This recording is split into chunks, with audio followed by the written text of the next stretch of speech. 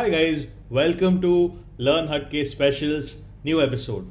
My name is Rahul Rohilla and you're watching Maths 101 channel.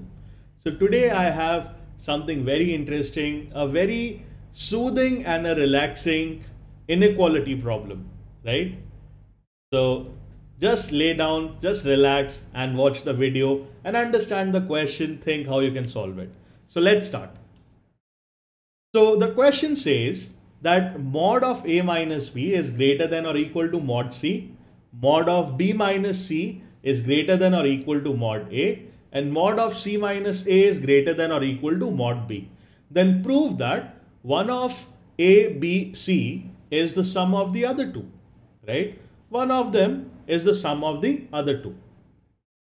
Now, when you look at this question, you could, you know, apply something, you know, obviously you will be able to find the answer. I'm pretty sure you guys are very intelligent. And as you guys are progressing, as you, you know, are studying, I'm sure you can tackle these kind of problems. But one of these days, we all want to do a simple problem. So here it goes. So सबसे पहले, I have mod of a minus b, which is greater than or equal to mod c. Now, first of all, I want to remove this modulus. To remove this modulus, what I will do is I will square it. So I will get a minus b whole square greater than or equal to c square. When I square it, there is no use of modulus because I know that a minus b whole square is going to be positive as well as c square is also going to be positive, right? What a modulus basically does is makes everything positive. But if I already know that something is going to be positive, I don't really care about the modulus sign.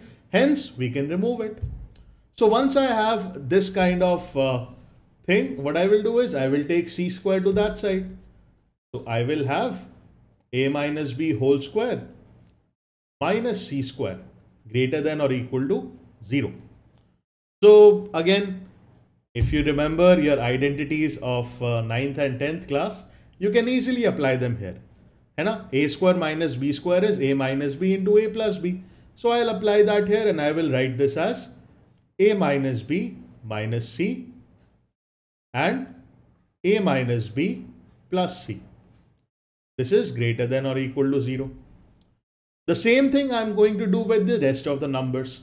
The second number that I have here is mod of b minus c greater than or equal to mod a. So again, I can write it as b minus c ka whole square greater than or equal to a square. Again, I will write it as b minus c ka whole square greater than or equal to or what I can do is I can take it to the that side. I can take a square to that side and I'll write it as minus a square greater than or equal to 0 and I get my result which is basically b minus c minus a into b minus c plus a greater than or equal to 0. Now if you solve the third relationship, the third relationship which is given here, mod of c minus a is greater than or equal to mod b, square it, do the same thing and you would get something like c minus a minus b into c minus a plus b greater than or equal to 0. Now what I will do here is I will multiply all of them. Okay. I'm going to multiply all these three inequalities. Notice there is, there is something quite interesting here. And what is interesting here is uh, what you can see that you have a minus b minus c, right? And you have a minus b plus c. There is something similar here, right? There is something similar here. Let's first multiply them and then we will look for something similar, right? Okay. So let me change the color, probably something like a blue and we will get a minus b. Yeah, we will get a minus b minus c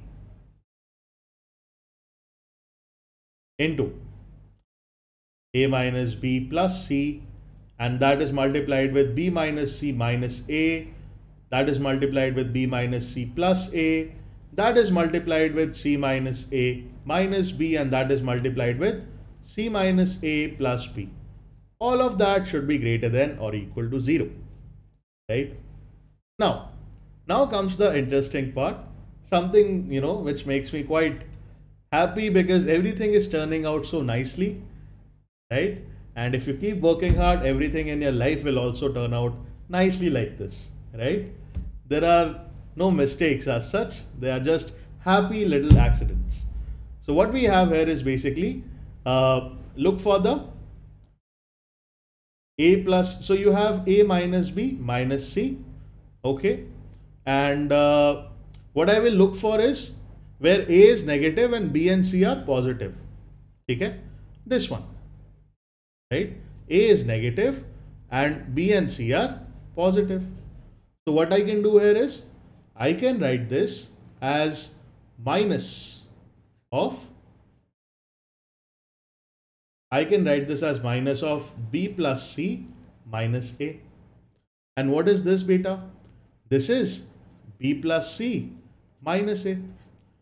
So if I multiply them, both of them, if I multiply, I should get something like this.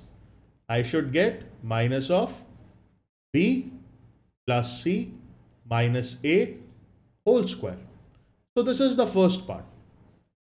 Let's talk about the second part. Now, for the second part, I am looking for, let's say here, so this is what? This is basically A plus C minus B. So I'm looking for something in which B is positive and A and C are negatives. And I find it here. Very simple. I can write this as minus of A plus C minus B. So when I multiply this with this, again, I will get minus a plus c minus b whole square. Yeah. And obviously, now you can quickly look at the last one. You can see that everything is aligning beautifully and we are somewhere near the solution, right? So when you look at this, this is what? This is basically a plus b minus c. And when you look at this one, you can take minus common and you can write this as a plus b minus c. When you multiply both of them, you will get minus of a plus b minus c. So this is greater than or equal to 0. Yes. So finally I have something which I can work around with.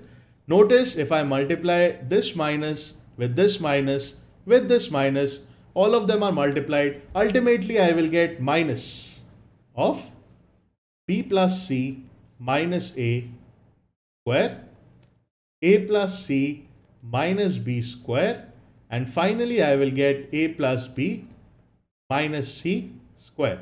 This is greater than or equal to 0. Now comes the most interesting part and uh, you know every part is the most interesting part actually. So here what you can do is you can see that way this is going to be a square. So this is going to be positive. This is also a square. This is positive. And also this is also positive. But there is a negative sign outside. So if there is a negative sign outside, we have a problem. Why? Because if rest of the things are positive always, and if there is a negative sign, that means this whole thing is going to be negative. But what, what does it say on the left side? Okay, so the left side basically says everything is going to be negative because there is a negative sign and negative is multiplied to something positive, so it will be negative. But if you look at the right side, it says it has to be greater than or equal to 0, right? It has to be greater than or equal to 0. Now, I know that the right hand side is saying that it has to be greater than or equal to 0 but the left hand side is saying that it is negative right so the only possibility is since it cannot be positive since it cannot be positive the left hand side so the only possibility is कि भाई हमारा जो left hand side है it is equal to 0 so this whole part is equal to 0 and if this whole part is equal to 0, I think we are at a solution.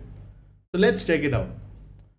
So we have b plus c minus a whole square. Then we have a plus b minus c whole square. Then we have uh, c plus a minus b whole square. Since, you know, it cannot be positive because there is a negative sign and it, the inequality says that it has to be greater than or equal to 0. Since it can't be greater than 0, the only thing possible is that this is equal to 0. Now, since this is a square, either it can be positive or it can be 0. Again, this can be positive, it can be 0. Positive or 0. Since the product is equal to 0, I can say that individually every term is 0. So basically we have b plus c minus a equal to 0. So that means b plus c is equal to a. Enough. Similarly, a plus b minus c is equal to 0. a plus b is equal to c. I am putting a condition of or or here. Okay? I am putting a condition of or here. Because one of them, if one of them is 0, everything will become 0. So either this is 0 or this is 0 or c plus a minus b, this is 0. And if this is 0, we will get c plus a equal to b. So either one of them, either this has to be 0, either this has to be true or this has to be true. If any one of them is true, we finally achieve our answer, which is basically the sum of any two numbers is equal to the third number. And with that, we come to an end of the solution. I hope you like it. I hope you feel relaxed. I like how when, you know, I like when the problems turn around and they give you a very simple and a beautiful solution. Okay, so that was my solution of this problem. It's an old Olympiad problem. If you like these kind of works, if you like these kind of problems, you want to study them more, you want to prepare for Olympiads, you have to take Unacademy subscription where I launch my courses, where I teach regularly and you can use my code to get a discount. My code is Rohilla10 and this code will give you a 10% discount. Yeah. I hope to see you in the next one. Have a great day.